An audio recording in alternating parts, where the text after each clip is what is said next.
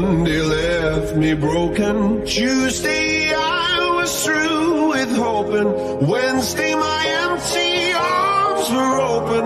Thursday waiting for love, waiting for love.